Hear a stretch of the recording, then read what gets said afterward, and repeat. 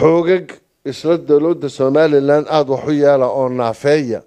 oo iska soo urursaday meelahan aynu jaarka nahay ayaa maanta hormuud ka ah in ay burburto noloshii caadiga ahayd ee gobolka sool.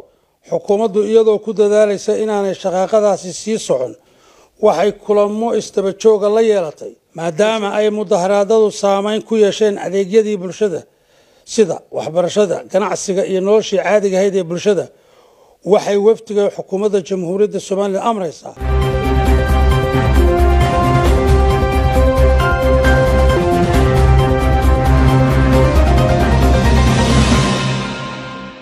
Salaatu wasalaamu calaa ashrafi lmursaliin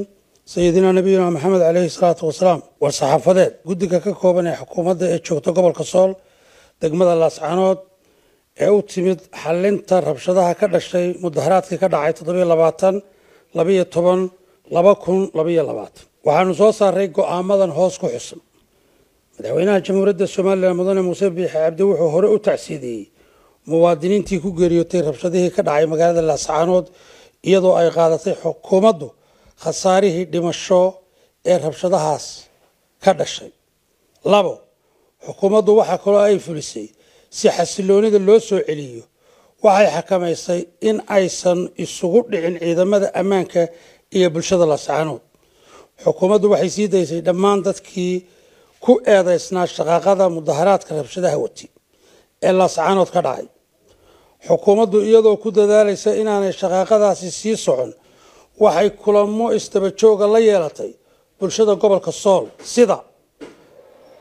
qaybo ka mida madax dhaqameedka iyo culimaa udiinka guddigii saddex iyo soddonka ahaa golayaasha deegaanka ee gobolka sool sida laascanood xudun iyo taleex dhammaan isuduwayaasha wasaaradaha iyo hay'adaha dowladda ee madaxa bannaan. Xukuumadda jamhuuriyadda somalilan waxay taageeraysaa baaqi ka soo baxay ee ku wajahnaa adkeynta nabadgelyada iyo wadahadal lagu dhammeeyo wixii tabashaa ee jira qaybuun waxay ka qaadatay xasilinta nabadgelyada iyo degenaanshaha magaalada. Xubnaha golaha wakiilada guurtida iyo golayaasha deegaanka laascanood taleex iyo buuhoodle iyo xudun iyagoo ah cidda keliya ee si dastuuriya loo doortay gobolka sool iyo degmada buuhoodle waxaanu ugu baaqaynaa dhammaan dadka shacabka reer sool inay ka qayb qaataan adkeynta nabadgelyada iyo xasiloonta xasiloonida deegaanka maadaama ay mudaharaadadu saameyn ku yeesheen adeegyadii bulshada sida waxbarashada ganacsiga iyo noloshii caadiga ahayd ee bulshada waxay wafdiga xukuumadda jamhuuriyadda somalilan amraysaa in la furo dhammaan adeegyadii hakadka galay muddadii shaqaaqadu socotay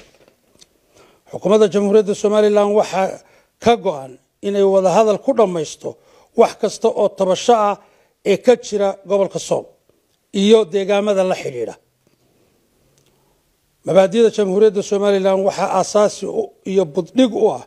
nabad ku wada noolaansho dowladaha ay jaarka yihiin iyo guud ahaan mandaqada aynu ku noolahay. Sidaa daraaddeed waxaanu ka digaynaa cid kasta oo faragelin ku sameynaysa arrimaha gudaha ee jamhuuriyadda somalilan.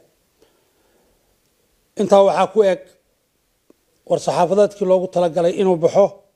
Waxaynu guddigan wada ognahay dhammaan bulshada reer somalilan iyo dhammaan bulshada gobolka sool ku nool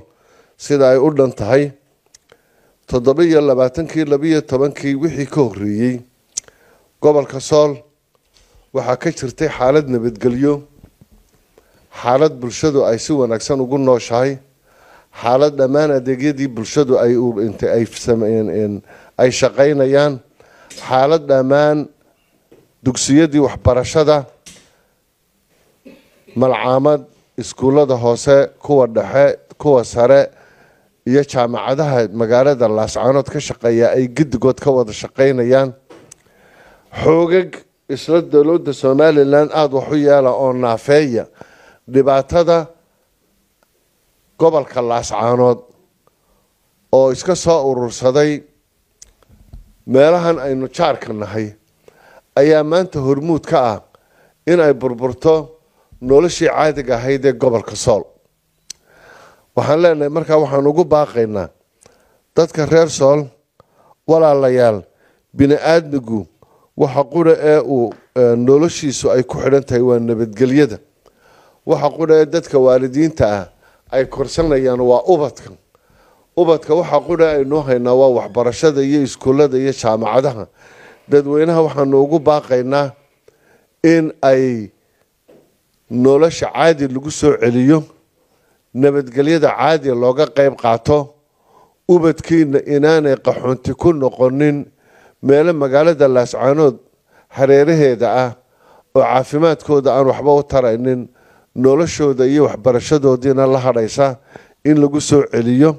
Shicibkana waxaanu leenahay dowladda kala qeyb qaata in nabadgelyada lagu soo noqdo dadku ay guryahooda ku soo noqdaan sida war-saxaafadeedka ku qoranna cid kasta oo isleh waxyeel nabadgelyada gobolka iyo guud ahaan somalilandna dowladda somalilan raallina ka noqon mayso tallaabooyinna waa laga qaadayaa ciidamada amniga somalilandna aada iyo aada baan ugu hambalyeynaynaa nabadgelyada qeybtay ka qaateen iyo dadweynaha sida ay maxaanku dhahdaye aada iyo aada u dhaqaaleynayaan. Waxaan leenahay markaa xaaladahan oo hore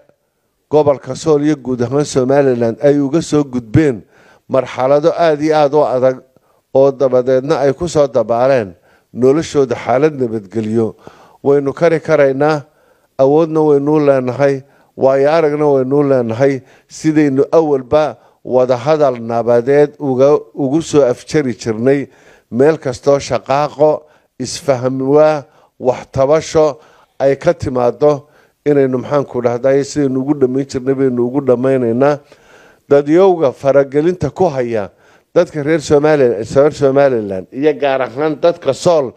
midna ka nixi maayaan dhaawaca iyo dhibta ku imanaysa noloshooda iyo kala furnaantooda aada iyo aad baa u mahadsan tihiin xaaladeenna aynu nabadgelyo ku soo dabaalno allana haynala garab galo